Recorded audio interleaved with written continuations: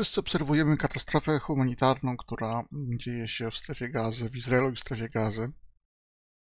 E, mm, I do tego filmiku króciutkiego zachęcił mnie mm, Piotr Napierała, który stwierdził, który jest mm, dobrym znawcą polityki międzynarodowej, bardzo lubię jego wystąpienia, jego nagrania. Troszkę zwariowane, ale bardzo e, inspirujące, który gdzieś tam rzucił, e, że Egipt powinien przyjąć do siebie Palestyńczyków i że to by, to by rozwiązało konflikt. No ale co, gdzie, jak, prawda? Ponieważ ja w międzyczasie miałem podobną nieco myśl, e, to postanowiłem nieco ten wątek rozwinąć. Otóż tu mamy pokazane obecne e, strefą gazy. Widać, że cały brzeg Morza Śródziemnego od strony Izraela jest bardzo gęsto za, zamieszkały. Natomiast e, w, w, w pasie Egiptu w zasadzie cała ludność mieści się w delcie Nilu i w, mm, wzdłuż rzeki, mm, a pustynia jest całkowicie y, nieużyteczna. Oczywiście ktoś powie, no, no, no ale nie można ludzi przerzucać na pustynię. Oczywiście, że nie, potrzeba to wszystko przekształcić. Po pierwsze, sam Izrael, po pierwsze, sam Egipt planuje poszerzyć deltę Nilu, przez e, cofnięcie części rzeki przed, jakby, zanim ona wpłynie do morza, e, stworzenie takiej sztucznej rzeki, która by nawadniała mm, dodatkowe 9000 km2. I ten obszar e, stałby się takim nowym, nowym spichlerzem kraju, ale też pewnie obszarem zamieszkania. No ale to są obecne plany Egiptu, prawda? Co, co w takim razie? Otóż e, ta strefa gazy mierzy około 2 milionów mieszkańców, 374 km2. Jest to plus minus wielkość Warszawy. I teraz ob, obok tego obszaru, który miałby stanowić roz, rozbudowę delty Nilu, tak plus minus on wygląda, jest wielka, głęboka na 133 metry depresja. Ta depresja, w tą depresję prze, przesiąka woda z Morza Śródziemnego, bo to jest około 60 km. Tam są jakieś takie bagda i słonorośla. I jest pomysł, żeby zbudować kanał, wpuścić tam wodę. Przy okazji budując ogromną elektrownię wodną.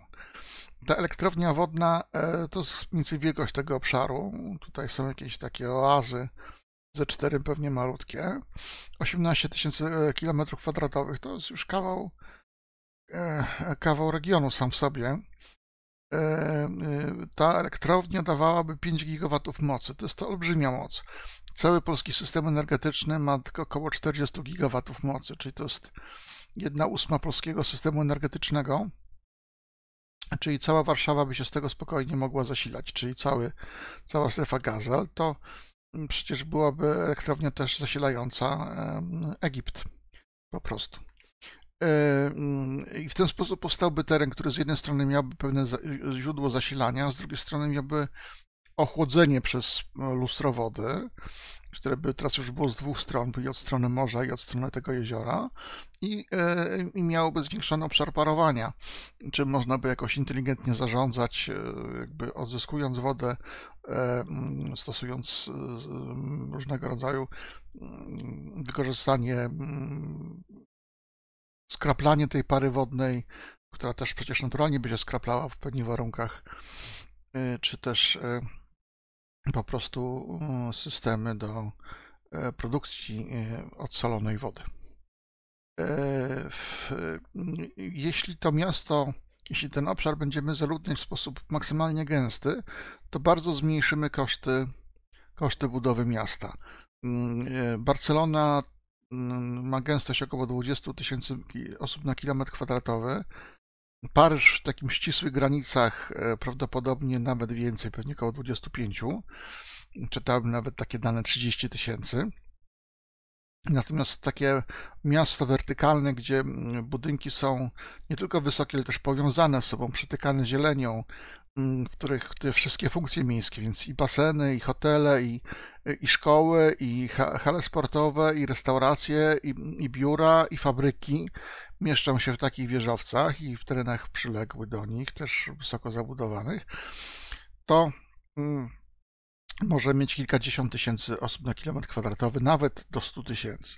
W, taki, w takich budynkach, w takim mieście nie ma sensu używać komunikacji publicznej. Zmieniamy ją na e, właśnie transport e, publiczny, no bo, no bo w tej sytuacji to będzie 2-3 km wielkości całego miasta. Powiedzmy kwadrat 6 na 6 km to w zupełności wystarczy. Yy, I te, w takim mieście będziemy mieli najniższe, oczywiście wysokie, olbrzymie koszty, koszty e, bezwzględne, natomiast najniższe koszty na mieszkańca i najwyższy standard potencjalny na mieszkańca. Jeśli miasta wertykalne mają być miastami przyszłości, a tak się wielu urbanistów twierdzi, no to w takim razie, e, potrzeb, jeśli mamy budować miasto, od razu budujmy je takie. Tego się nie da zrobić przy okazji. To po prostu trzeba zaplanować od początku tego rodzaju miasto. To wymaga wielkich, e, spójnych inwestycji. Tereny e, przyległe, które nie byłyby zabudowane mm, budową miejską, można by przeznaczyć na agrofotowoltaikę, czyli pozyskiwanie energii słonecznej. To są tereny bardzo dobrze nasłonecznione, a cień, który by padał na ziemię, by E, pozwalał lepiej rozwinąć się w tych warunkach suchego klimatu, wysokiego nasłonecznienia. Pewnie to nie byłyby warunki do produkcji zboża, ale już jakaś sawanna no, mogłaby tam powstawać, a jak sawanna czy półsawanna, to, e, to już e, jakieś kozy czy, czy stada zwierząt kopytnych się tam utrzymają. A skoro się utrzymają stada zwierząt kopytnych i będą miały cień, to no to będziemy mieli produkcję rolniczą. To też te zwierzęta swoim wydeptywaniem, swoimi odchodami będą tą glebę z czasem tworzyć. Mm, e, no wiadomo, że Palestyńczycy, jak większość Arabów, będzie żywiają się kababami, które wołowinę i kozinę tam sobie mm, mają, więc mm, plus do tego rolnictwo w zamkniętych obiektach, gdzie, które się rozwija w tej chwili na świecie, moglibyśmy hodować, e, właściwie uprawiać e, warzywa, to już daje dwo, dwóch z trzech składników żywności, no bo wtedy trzeba by tylko zboże importować. Mm, a, a mięso i warzywa mielibyśmy, mielibyśmy własne. przykład, inny przykład takiej konstrukcji fotowoltaicznej, agrofotowoltaicznej. No i koszt tego wszystkiego Sama budowa elektrowni wodnej to pewnie ze 100 miliardów, na co musiałyby się złożyć pewnie sponsorzy.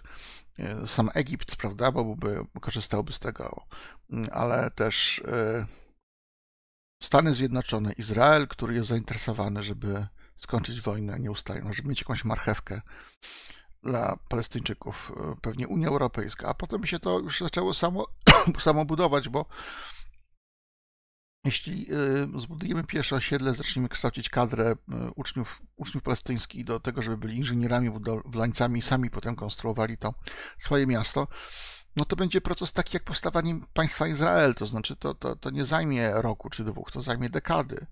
Y, i to będzie proces rozłożony na, na, na, wiele, wiele, wiele lat, więc ten koszt biliona dolarów to jest koszt jakby pracy, którą sami w dużej mierze wykonają, więc nie ma, nie ma się czym tak bardzo stresować każda kwota, którą mm, jakby sumujemy z długiego okresu będzie olbrzymia.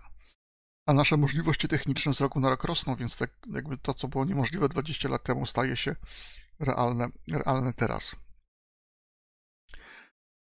E, no i cóż, e, to jest moja propozycja, rozwinięcie myśli e, szanownego wykładowcy, mm, żeby Izrael oprócz tego kija wielkiego, który ma w ręku, miał też jakąś marchewkę, żeby zaczęła być rozmowa jakaś, jakaś pozytywna.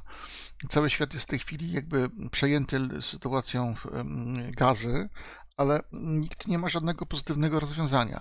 To jest propozycja może trudna, może nieoczywista, ale rozwiązania pozytywnego, które może być punktem do jakichś szczegółowych rozmów.